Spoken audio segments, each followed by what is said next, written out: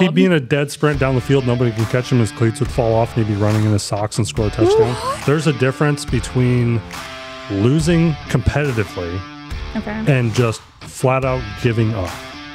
Michigan just had their way with you. Against Penn State last year, Michigan handed off the ball, ran the ball like 50 times or something like that. It's unheard of. Okay. Most teams don't even get like 50 plays off, and if they do, they're mostly passes.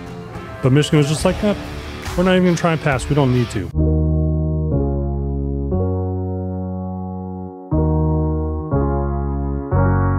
Welcome back to the He's Wrong, She's Right podcast. I hit record this time, so now we are here. You guys just Thank missed, you, Andrew. yeah, you guys just missed Appreciate it. 20 plus minutes of conversation that will never be heard on the show now. Right. Um, I am Andrew. This is my beautiful wife, Nona. We are your hosts. Got it right that time? You got it right that time. Okay. Uh, I am wearing a hockey sweater today because Michigan is a hockey school. Okay. I am very, very upset, very disappointed with the way the season has gone. There's a difference between losing competitively Okay. and just flat out giving up. And not that's e- what you feel happened this past Saturday? All season for the most. After the Texas loss, this team has not tried. There's no heart. And that was the second game? yeah, Okay. and in So they put forth a little bit of effort on that very first game and then just gave it all up. yeah, the it, the whole team's falling apart. Nobody wants to be there. No, do you remember what was it two years ago when Cooper's team just absolutely sucked? And like bit. the kids just like kept showing up, but they were like moping around. Nobody really wanted to be there. They were It, getting I- it was kind of the same situation if you think about it. Um, half the kids on that team left to go play for their schools because they had kind of aged out of the program. 12 was the limit. right. And kind of the same situation with here. It's a completely new team. Everybody is in the NFL now. So there was good last year. But there's there's a mentality for teams and schools and stuff like that Mm-hmm. where when you know, you know that you you don't have a season. Like next year is going to be your season again, Okay. but this year you're rebuilding. You're trying to find the right guys and the right roles. The coaches well, are they didn't find the right guys, right, obviously. right. But that's what I'm saying is when you're in that position, Mm-hmm. you're like, okay, now our goal this year is just to wreck everyone else's season. Well, obviously, nobody has the scrappy mentality. Right. That's and they thought this whole season was just going to be handed to them because it, they've come off of a huge win. Yeah, the culture has just gone. You know, there's no leadership. There's no nobody's buying into the program. Nobody wants to be there with that coaching staff, and that's a huge problem that I had brought up previously when I said that you know he needs to be fired now mm-hmm. because now we have recruits and commits that are supposed to come in next year, like huge recruiting class. Who are possibly not going to. No, now they're already taking tours at oh, our rivals. The number one receiver in the country was supposed to come to Michigan next year, and now he's Looking at Ohio. no, he's going to Washington. Which I don't know why Okay. Washington, but there there are some players who do have a moral compass, and if you Would know, still stick it out. no, no, no, that that like hate Ohio State and want to go to Michigan, but because they don't want to go to Michigan and squander their ability to go to the NFL, they're still not going to go to Ohio State or Notre Dame. Gotcha. They'll go to another big school. And there's there's a lot that goes into it, right? Like these guys consider everything all the way down to how many other four star, five star receivers are at that school. How much playing time am I actually going to get? Right. Like it might you might have like an Alabama or an Oregon or whatever who has like two, three years worth of guys that are still on the roster that haven't gotten playing time. And you're either just as good as them, mm-hmm. maybe a little bit better, maybe a little bit worse. So do you want to sit there and do nothing or do you want to go and play for another team and rack up your stats? So they look at all of this stuff. So, what would fix it, Andrew? Firing Sherrone Moore. That's it? Because so this year is already gone, right? That's just chopping the head off. I think the whole shebang needs to be redone. Yeah, but you start with firing the head coach, bringing in a new head coach. And who would you choose? Michigan, Dave Portnoy? yeah, yeah, yeah. Bring Dave Portnoy in for sure. Um, so this year's already gone, right? So Right. you you fire him, you bring in an interim coach, you start revamping now because you have players on the roster. You show the recruits that we can turn this around. Mm-hmm. You win out some major games to close out the season. Okay. You win your bowl game, and now you have a positive outlook going into 2025. You don't But he has to be gone. yeah. If you don't fire him now, mm-hmm. he loses the major games coming up, potentially loses a bowl game if they even make it. You have to be at least six and six to make a bowl game. And they now have two losses? Three. Three? Yep. Ooh. Sorry, guys. So you go in, you you lose out those games, and you go into next year, and now players, recruits, and stuff are looking at that like, I don't want to play for a losing culture. Right. So now you've lost an entire year's worth of recruits. The next year's recruits are like, I don't want to be on that team. I don't want to watch 2025 squandered as well. Right. So it has it has to happen now. He needs to be gone before the end of the season. All right, fix it, Dave. no. That's Fix your it, new Dave. nickname. Fix it. Like fix it, Dave. Wreck It Ralph. Fix Yeah. it, Dave. Yeah. Okay. So yeah, the I mean the headlines, everything. People, I went around all over X, Twitter, posting, replying to you know saying Santa Ono needs to fire Warde Manuel and Sherrone Moore, their entire uh, coaching staff. What was that? You heard that too, right? That was weird. Um, yeah, just fire them all bring somebody in. Michigan's basketball team, okay, basically just did this. Michigan's Okay. basketball team had a couple bad years, or they had a couple of good years initially under uh, what's his name from the Fab Five. I can't even fucking think of our basketball coach's name. Um, fired him Okay. after a bunch of both on and off court nonsense, and hired a guy named Dusty May, who I had never heard of Okay. and they won last night in their first exhibition game by like 60 points. Congratulations to them. I, whoever Dusty May is, good job. He's pulled in all kinds of people off of uh, the transfer portal. Basically, he rebuilt this entire team okay. from the ground up in the last couple months. And they're they're they went from a team that last year did absolutely nothing, got blown out by everybody, Okay. to a team that looks like a contender in one game. That's what a big school with money like Michigan can do Right. with the right coach and the right coaching staff. Well, good luck, Dave. Yeah. You've got the money. do it, Dave. Do the right thing. Fix it, Dave. Th- like the fact that he said I'm working on it, I want to know. what The actually details. he's doing. Yeah, I want He's probably just texting people, you fucking suck. I don't know. Dave is um for the character that he plays. Character. Like I hate that. why? You're playing a character right now. Ew. You are. I'm my own person. Right. I I am me. But the conversations that you would have here on the podcast are not the conversations that you would have in private. You're right. I would never choose to talk about football. We're talking about football because this is a football episode. Yeah. But on a day to day, I would not choose to talk about football. See, the the So I'm going to be experiencing my first football game this Saturday At the biggest stadium in the world. Never been to a football game in my entire life. You're gonna you're gonna walk up and you're gonna see the building from the outside and you're gonna be like, it looks wide. Okay. Because the Michigan Stadium is a giant bowl. It's Okay. one of the only ones that the what Fielding Yost and what Bo Schembechler, what Fielding Yost way back in the day in the 20s said Okay. when the stadium was built was that everybody in the stadium should be able to see everybody else in the stadium. That's why they don't have like the tiered decks and everything like that. Even the suites have glass panes between them. So, So you, can, see in the suite next to you Yep. or below you. all the way around, all the way below you. Okay. The even the the glass on the suite. And yes, I wish we were in a suite because I'm going to freeze my freaking ass off. I'm going to be so cold on Saturday night. the, the glass in the suites leans forward. So cool. in the front, yeah. So you look down, you can see everybody. Everybody can see up. Everybody can see left. Everybody can see right. If anybody wants to pay for us to upgrade to a suite, I would not say no. So you might have so actually bought you might have actually bought the tickets like a couple days too early What? because nobody wants to go to that game now. Fuck. Yeah. Might have gotten them even cheaper. I'm not going to go look now. That's just going to make me cry inside, and my bank account is already not happy. So, Yeah. whatever. Thank- Whatever. Thank, you for the tickets, though.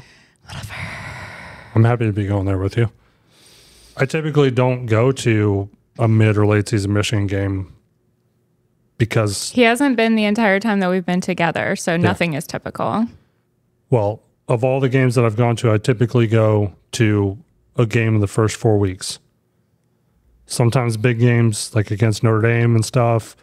Um, that for probably my entire life, that was really the only big early season game that Michigan ever played. If if they didn't play Notre Dame, they were only playing cupcake cupcake teams early season. Okay. But now, with the expansion of the conferences and wanting to add an additional conference game into the season and stuff, it's more regular now that there's going to be a big game in the first even two weeks. Mm-hmm. Michigan has the home and home with Texas, so next year they'll play Texas at Texas. So we'll see how that goes. Texas imploded this weekend against Georgia, though. Does that make you feel a little better? No. Any team that you lose to, you want them to be great because then it makes you look like at least you only lost to a good team. Gotcha.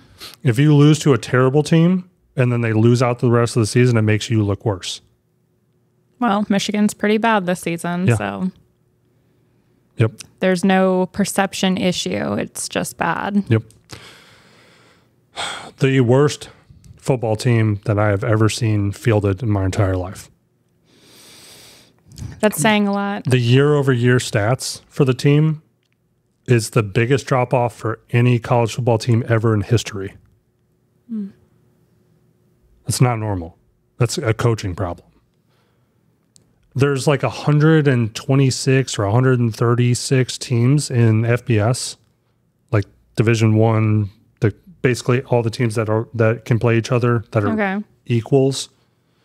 And Michigan ranks almost dead last in every Damn. single metric. Does that make you cry inside? No, it makes me angry because it's a coaching problem. This it's it'd be different if you didn't have talent and the team was just bad and had always been bad. Mm-hmm. But the team has the number one and number two running backs in the country, Okay. the best corner. Who are not injured currently? Right. The, Okay. the best corner in the entire country, the two best defensive linemen that are probably going to go first and second in the NFL draft, Okay. and their talent is being completely wasted by coaches that don't know how to call plays. And people just, they look like they're lost on the field. They don't look like they know what they're doing. Nobody has any confidence. Nobody knows what their assignments are. They're just out there like, it, it looks like watching. Cash's flag football? Yeah. Or the the teams that they've been demolishing this Yeah, whole season? They're just standing around, missing tackles. Oh, you ran by me. Aw. Here, let me attempt to tackle you from over here. That's how it's been. It's so pathetic. It is it's embarrassing to watch.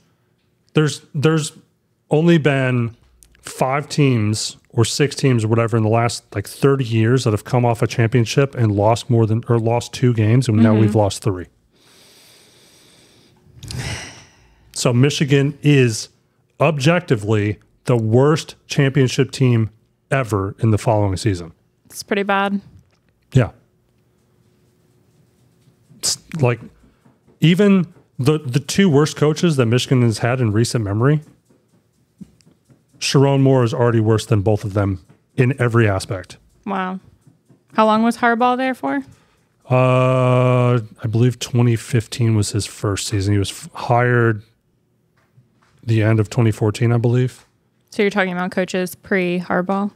Yeah. Gotcha. So Lloyd Carr retired um 2007 I believe, maybe 2008. Okay. Um And then we had Rich Rodriguez who completely tried to overhaul and like turn Michigan into Michigan is what's called a ground and pound team.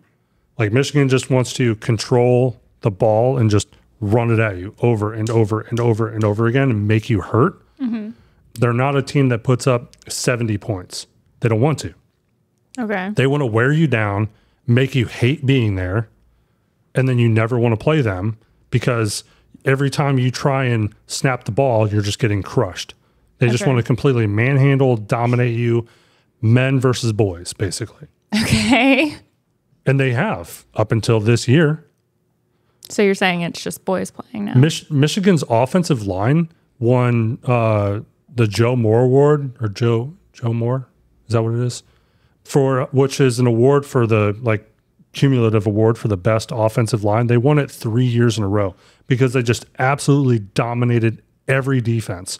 You couldn't do anything. Michigan just had their way with you. Against Penn State last year, Michigan handed off the ball, ran the ball like 50 times or something like that. It's unheard of Okay. most teams don't even get like 50 plays off. And if they do, they're mostly passes.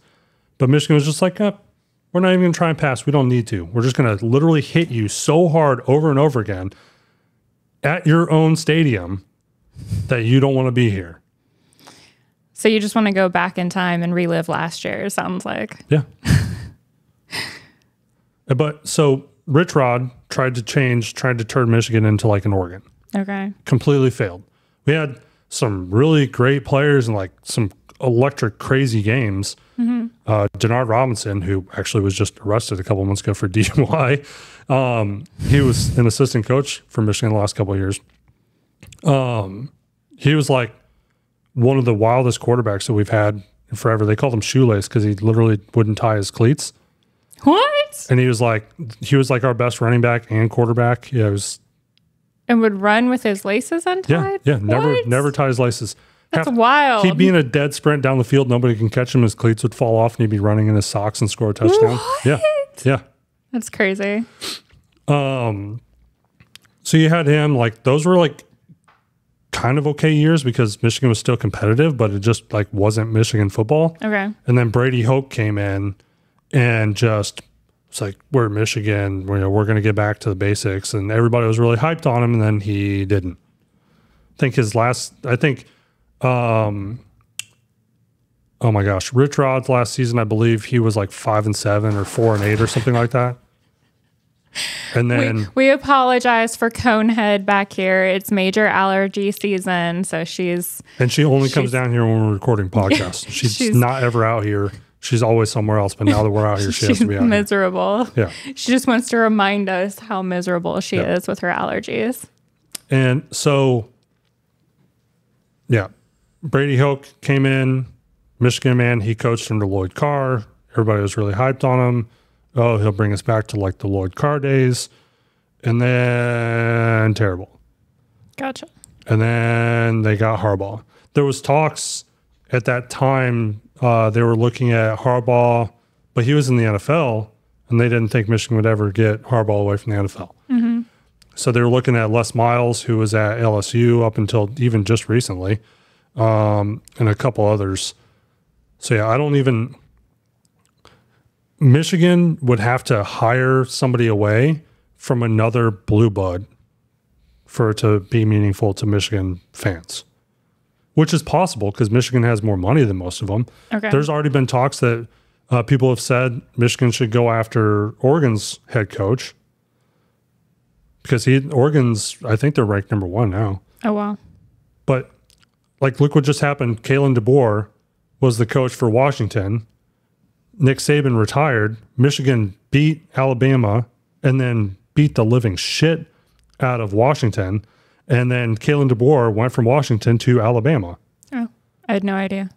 Yeah. So it's you know it's possible to you know get coaches way, but the all the Oregon fans are like, oh, Oregon has the Nike money, and there's no way Nike and uh, Phil Knight will give him anything he wants. I'm like, cool. You have a shoe company.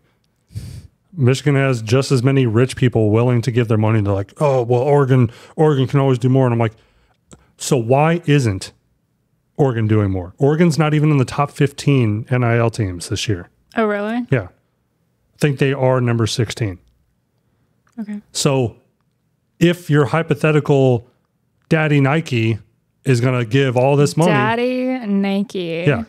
If he's going to do this, why hasn't he already? Why isn't he paying the most for the best players? If he's going to, why isn't he now? I'm just giggling at Daddy Nike. Yeah. So what what I think could potentially happen? Mm-hmm. Oregon goes on, wins the Big Ten, Okay. but gets destroyed in the playoffs. Okay. Fans get angry. Coach gets hired away by Michigan. Because one of the things that they have to do in those kinds of contract negotiations, mm-hmm. they have to buy out the contract. So that's sense. another that's something that Michigan has to consider when firing Sherrone Moore. Mm-hmm. Sherrone Moore's contract is like half a million a year, something like that. And how many years did he sign for? five like a small but the they have what they call like guaranteed money and there's like buyout clauses and stuff like that so Gotcha. and performance both bonuses and you know if you don't win x amount of games within this timetable then you know your the buyout of your contract is reduced blah blah blah so th- they incentivize you to do well Right. and if you don't do well, you lose money. That makes sense. Yeah. So, whatever, uh, and the the Oregon coach is currently being paid. I looked this up when I was having this conversation. He's not even in like the top ten highest paid coaches right now. Okay. So, Michigan, you know, Could definitely pay him more. backs the money truck up. Backs the money truck up. I think he's being paid six point three million a year right now. Damn. Harbaugh was being paid eight point four when he left with plus bonuses. I think he would have. I think he made over twelve million dollars last year. Wow. So It's not chump change. Yeah. you go to his name's Dan Lanning. You go to Dan Lanning. You throw eight million at him Okay. after a successful season okay. with the same sort of bonus and incentive structure Sounds that like you've had. already chosen who is going to take over. You're like, this is going to happen. Dave is going to fix it. He's he's probably a long shot at this point, but I if if Oregon wins out, there's no chance. Gotcha. and you have to have an interim coach or somebody in contract negotiations at the same time as you make the decision to fire your existing coach. Because typically your interim coach is the person that you plan to hire or you bring up from within, so it'd be an assistant, but we want Michigan's assistants gone. Right. So you have to have somebody that you bring in. There's been a couple coaches that have been fired this far into the year, but they're not coaches that Michigan wants. Right. So it, it's it's a bad situation that again Warde Manuel is responsible for. Blaming him. We've Michigan fans have hated him basically since he got hired. And how long ago was that? Uh probably close to 10 years ago. Gotcha. Probably So then why is he still around? failing upwards. Okay. And Santa Ono's contract was just extended. The president of University of Michigan, his contract was just extended, and he's like, you know, loves all the teams and athletic departments and everything like that. So I think he he should just fill in as the athletic director, fire Warde Manuel, find a new athletic director, go after Dan Lanning or honestly like even though I hate Brian Kelly, even Brian Kelly would be a better coach. And where's he at? Uh, LSU. He was at Notre Dame forever before. So that's really why you hate him. Yeah. Okay. So, but Brian Kelly at least is like, he's very, very passionate about football. Okay. Very, um, he gets very angry when, and he, but he's he's extremely, extremely uh, structured, and um, his players are always uh, what do you call it? I'm completely spacing right now. Disciplined? Yes. I just pulled that on my ass, Yeah. guessing that that's where you were going. Like you sneeze at the wrong time and you're going to get punished. Okay. And they don't. Okay. But he's never won anything. He's been like on the cusp all the time, but never actually won anything. And you, do you think that's a him thing or his players thing? Um, probably a little bit of both. Notre Dame likes to say, "Oh, uh, you, know, you have to have really good grades to come to Notre Dame," and Notre Dame is very picky. And, oh, shut up! It's football. Most the the the uh, like average test scores and IQ and everything of like major D one athletes are ridiculously high. The Michigan year in and year out wins academic honors for like the team as a whole. Right. There like there's awards for that too. Like how what's the GPA of the, the team cumulative? Mm-hmm. And they win academic so they're right on par with you. Pretty much all of the blue buds, the, with the exception being Alabama, their like average GPA is like 2.3. What? Yeah. That's why everybody was like, dude, I thought you weren't allowed to play if you had a low GPA. no, it's like 2.0 or 2.5 or something like that in the SEC. It's one of those two. That's so low. Yeah. Big Ten requires, I believe, a 3.0 Okay. or that- 2.7 or something. It's like like a C average, like a high C average or whatever. but Yeah, 2.2? yeah, I believe so. That's so bad. I'll pull it up right now. But everybody's dumb down in Alabama Yeah. anyway. That's probably all they can do. What is the GPA required by an SEC football player? Something went wrong. Sounds on par for the morning that we're having. Yeah. To be eligible to play, 2.3. including in the SEC, you need to meet certain academic requirements. Here's a breakdown GPA.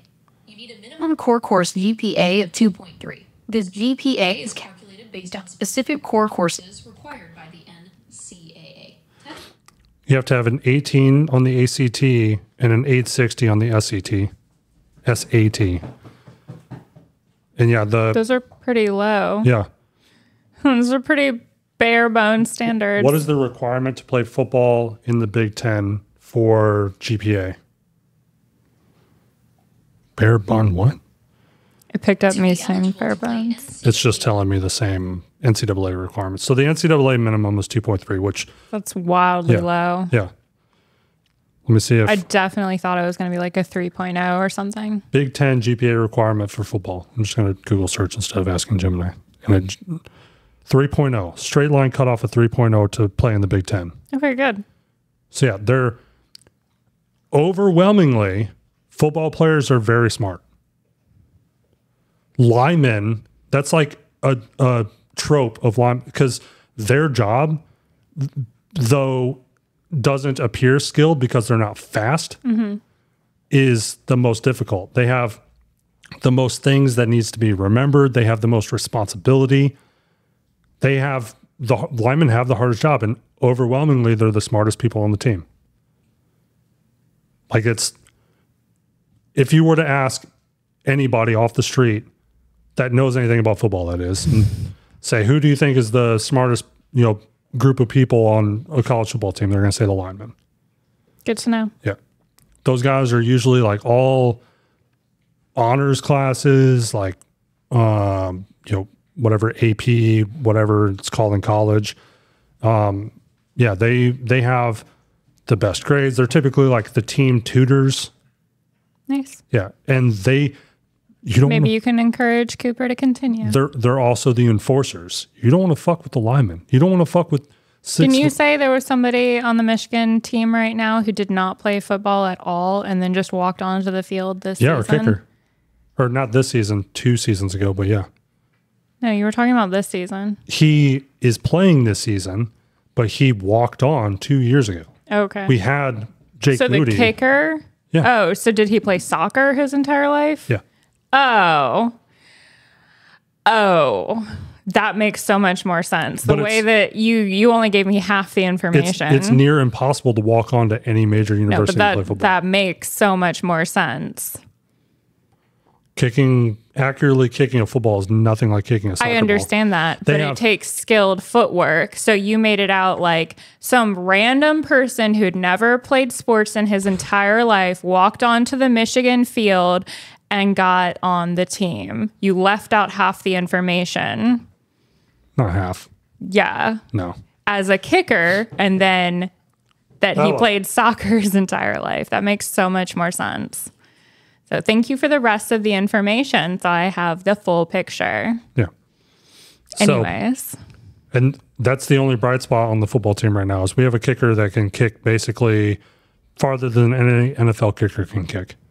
He can routinely hit like 55 to 60 yard field goals, and Good. the average is like 40. Good. Except That's the only thing you have going except for you. Michigan can't make it to that spot on the field. Right. Yesterday's points or yesterday's score is the lowest that they've scored in like 10 years. Yesterday. You mean two Or- days ago? yeah, Saturday. Do you even know what day is? No, I don't. Wow. Okay. It was the lowest points total Michigan has had in any game in over 10 years. What was the total? Seven. And how much did the other team get? 21. But that's actually only two touchdowns.